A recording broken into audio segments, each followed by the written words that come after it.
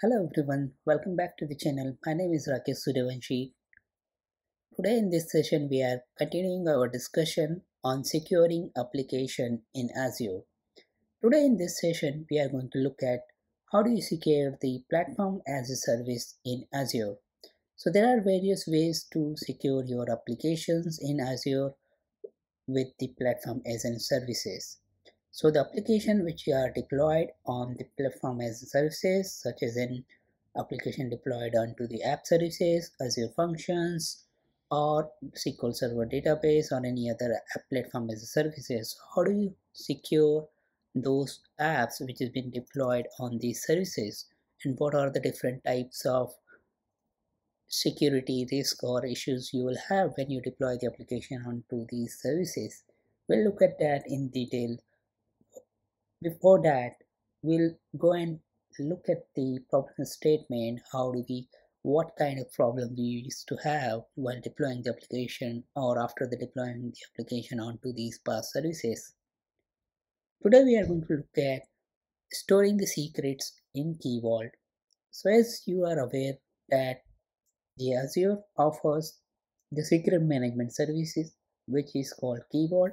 So in there you manage all your secrets, certificate and keys so that anytime when you require application to retrieve the secret, your application logic access the key vault and grab the secret which can be utilized in your application logic. We will also look at the next level of managing the secret using the help of manage identity so manage identity is the services which has been introduced to keep in focus that you are writing a code which is kind of a secretless code, right? In that case, the goal is to not store any kind of secret on your application code. So how do you do that using the manage identity? We'll look at that as well.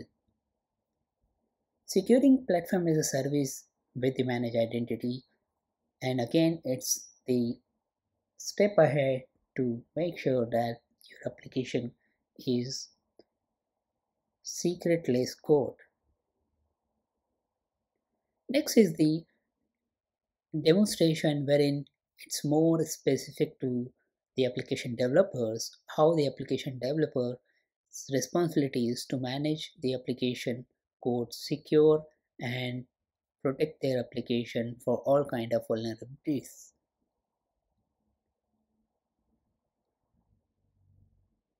Let's look at the common scenario of a platform as an application service.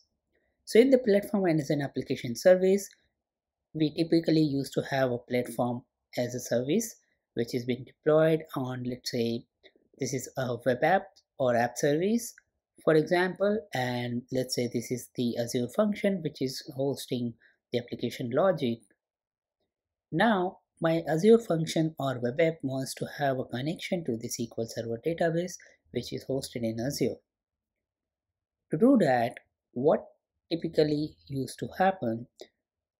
When we use the key vault we store the client id and the secret in our web config and we use the .NET library .NET Key Vault library to be specific to grab the key vault secret with the help of Active Directory authentication. So I'll show you what exactly the flow looks like. First of all, as I mentioned, you store the client ID and secret in your web config or the application config or the JSON if you are using the .NET Core. And then use of the client ID and secret, you generate a bearer token from the Active Directory. This client ID and secret is the client ID and secret of your service principal, right?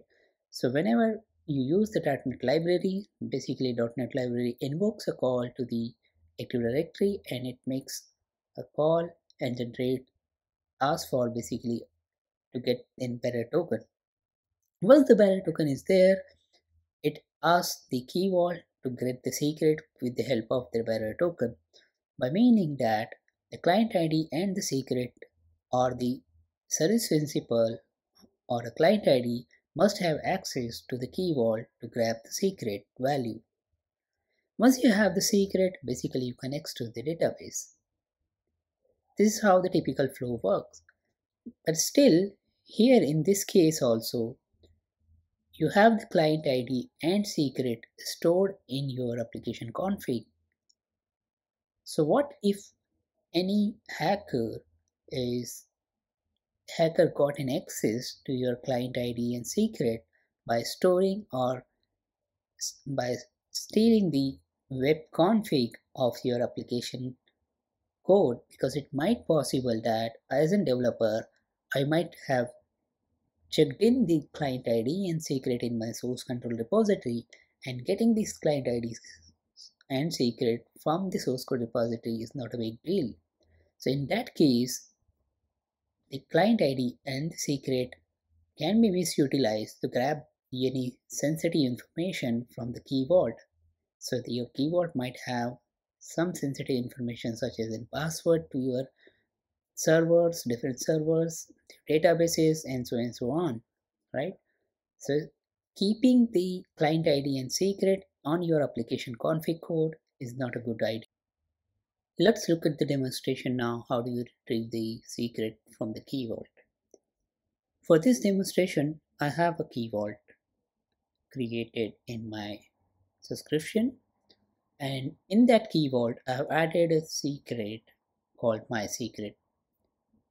And the secret has got value dummy.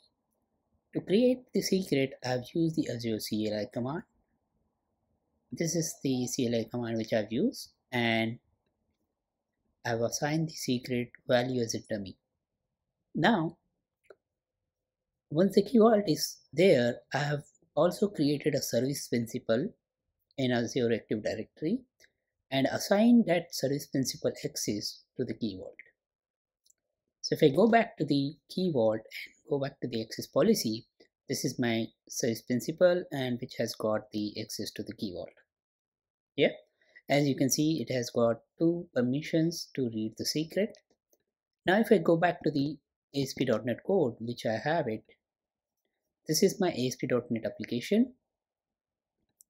In this application, what I'm doing is I'm using the service principal client ID and service principal password, which is service principal secret. So using the client ID and secret, I'm calling the key vault method get secret asynchronous to get the value. Before I call this method, what exactly I'm doing, I'm using the client ID and secret to generate the bearer token, which is this method. Basically, this is the method which generates the bearer token from the Active Directory using the client ID and secret. And this method uses the bearer token. This method client ID uses the bearer token to get the value or to create the key vault uh, hmm. connection, key vault object basically. Now let's look at the application. I'll run the application and see if I'm able to get the val read the value of the key vault. I'm reading the value in a ViewBag and I'm displaying it here on my web application page. I'm trying to run the application locally and as you can see the secret is displayed here with the value dummy. This works fine, but the problem we got here is what if I check in the client ID and the secret value which is being stored here into my source code because as a developer I may mistakenly I may check in the source code under the repository. And doing that the source code will have the client ID and secret value. And anyone can use this client ID and secret value to read the secret from the key vault or not even even though let's say if I use the tokenization and the value goes only at the deployment time. But even somebody let's say hack your app service and grab the value of the ID and secret from there then you you will be in a big trouble because your key vault is basically hacked. So that's not a good approach. Microsoft has proposed another service to use to interact with one service and other service. The service name is Managed Service Identity. With the help of managed service identity, you get an option to create the identity within the services. And the identity is fully managed by the Microsoft. So any communication between one service to other service, for example, your application code which is deployed in app service. So if your application app service wants to connect to the Key Vault or if your application wants to connect to the storage account or the database, so you can use the managed service identity to connect from one resource to the other resource. The only constraint or the condition, I should not say constraint, but a condition here is a managed service can be used only within the service who are eligible to use the Active Directory authentication. Yeah, because managed service behind the scene uses the service principal and Active Directory authentication to communicate between one service and other service. Now let's look at how do you configure the managed services. So if I go to the services in Azure, let's say in the web application on my app service under the configuration section in the settings, I also have one more setting called the identity. Here, if you click on the identity, you have two different tabs. One is the system identity, another is the user identity. A system assigned identity enables you enables Azure Resource to authenticate to the cloud services such as Key Vault without storing the credential in the code. So that's where we want to go. We want to achieve the secretless code for your application wherein we don't need to require any secret to be stored in the application code. And once the managed service identity is enabled, all the necessary permission can be granted to grant via the role-based access control. That's another good thing. Life cycle of the managed service identity is the life cycle of the is associated with the life cycle of the resources. For example, if I'm going to assign a managed service identity to the app service and there will be a service principal or the identity will be created in Active Directory. Once I'm going to delete this particular app services, app service, then the managed services identity will be deleted automatically and I don't need to delete explicitly for that. This is about the system generated identity. We also have the user generated identity.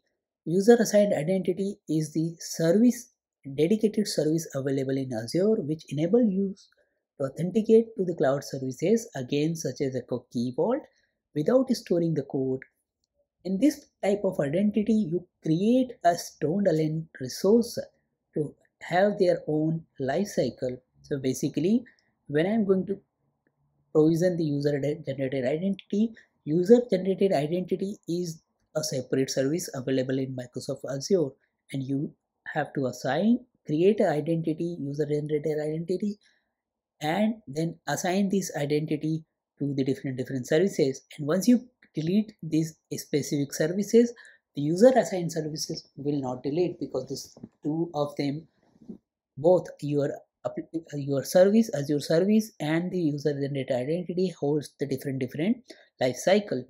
So it is not tightly coupled like it is in the case of system generated identity. So as you can see you can go ahead and change the status on and off. Once you click on on and save it there will be identity object created. So I've already created an object for this demonstration and I have used my Azure CLI command to give the set the access policy to this particular object ID and as you can see I have the key vault now. If I go back to the key vault now the key vault has the access permission for my app service so the manage identity is created with the name of the same service. Yeah. And now if I look at the permission, it has got the same permission.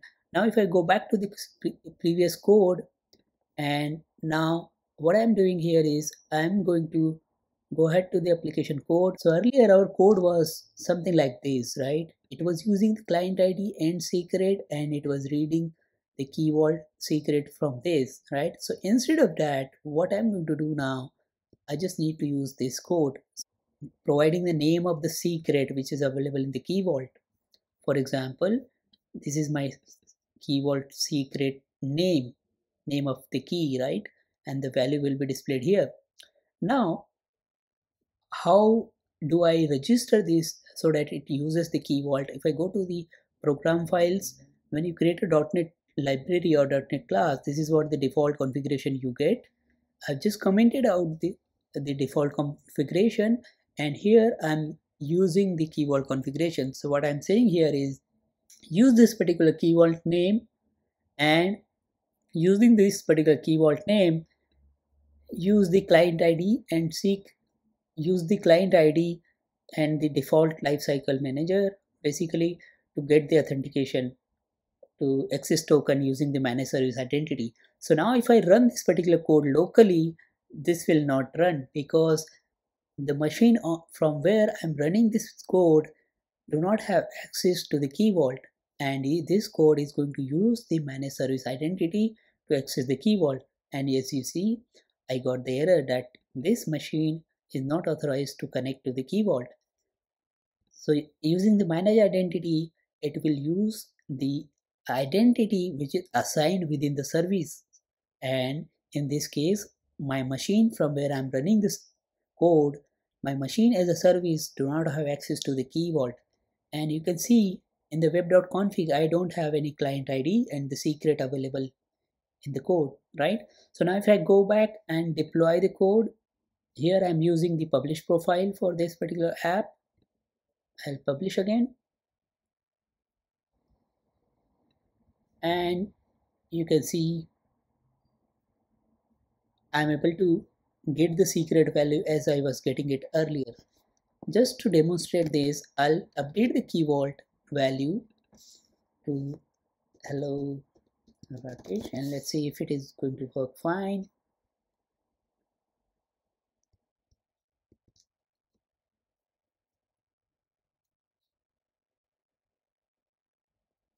So I've updated the value to the latest value, which is hello Rakesh. Now let me refresh the application. As you can see, I'm getting the value now, hello Rakesh. This proves that we are we have achieved the secretless code with the help of managed service identity. And this is the modern practices we should be using it as a developer to read the secret from the key vault from any services. Now the managed service is only is, is not only up to accessing the key vault secret from your app services to the mm. from your app services to the key vault it's all it, it can be also helpful in the other scenarios for example let's say your logic if wants to connect to the key uh, storage account database or your virtual machine wants to connect to the database or if you if you want to connect to the database uh, from from let's say Azure function in any scenario you should be able to use the access managed service identity. One thing here is let's say if you are connecting if you want to connect your app service to some some of the virtual machine, then what do you need to do is you need to grant the role-based permission to your managed service identity to the target service. I hope this was helpful to understand how do you use the key vault with the client ID and secret so that you don't need to store your client secrets on the plain text. And also beyond that, it is also clear that how do you use the manage identity, system manage identity to access different services within the Azure. You need to remember that managed services can be utilized only within the services who are capable to use the Active Directory authentication and this is only restricted to the authentication. The authorization part you have to manage your own.